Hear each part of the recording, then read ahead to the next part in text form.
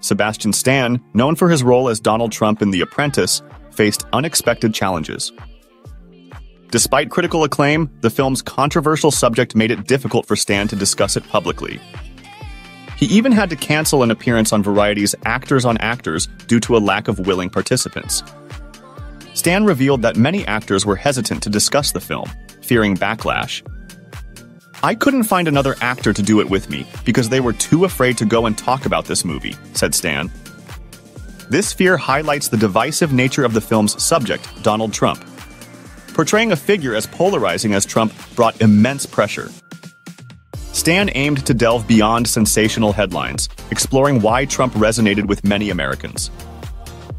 Every second felt like life or death, he said, emphasizing the challenge of presenting a balanced view of Trump's early career and public persona. The Apprentice centers on Trump's early business years and his relationship with Roy Cohn, a controversial New York City prosecutor. The film examines Trump's rise to prominence, exploring his appearances on major platforms like Time magazine and Oprah, and his role as a pioneering contractor hiring women.